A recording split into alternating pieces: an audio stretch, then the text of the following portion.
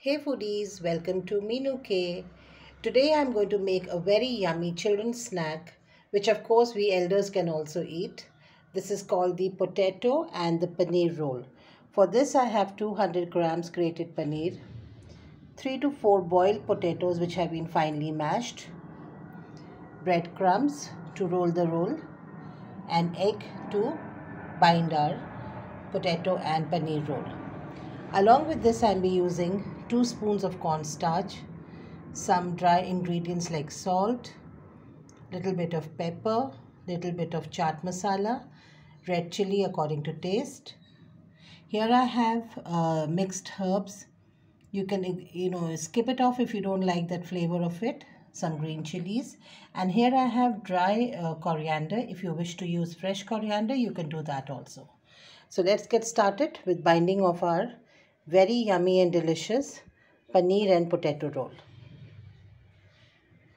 So onto a large mixing bowl I have added all my ingredients and to this we will also add a little bit of oil so that the binding is easy of our ingredients. So here I have prepared a fine dough of our combination of mixtures. I'm going to let this rest for about 10 minutes and then start with the second preparation. So I have prepared my paneer and potato rolls and now I'm going to refrigerate this for about half an hour and then we start with the third process. So it's over 10 minutes I have kept my uh, roll in the fridge and now I will start with the next process. So I'll take one, drizzle a bit of breadcrumbs to it, nicely coating it into it and then dipping it into the egg mixture to bind our roll.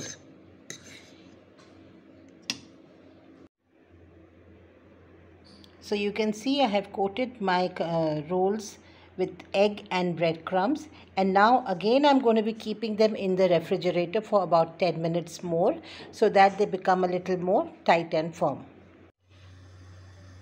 So I have put the oil on the kadai and now I'll be gradually putting my paneer and potato rolls for frying. We will not overstuff it. We will do one by one and not change the sides immediately. Let it cook on one side for about half a second and then we flip the sides.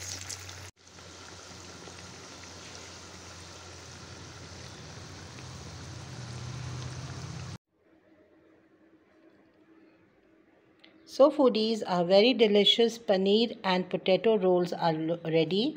You can see how scrumptious they are looking. I have coated a few with the breadcrumbs and the egg mixture and a few I left without that. So I could you can see the difference between the two. But taste wise they all are very very delicious. So I hope you like this very quick and very easy children's kiddies recipe. Do try it for your children and I'm sure they will give you a big thumbs up. So if you like this recipe, please share, please subscribe to Meenu K and we will meet again with another very yummy and delicious recipe. Till then, you take care of yourself. Bye-bye.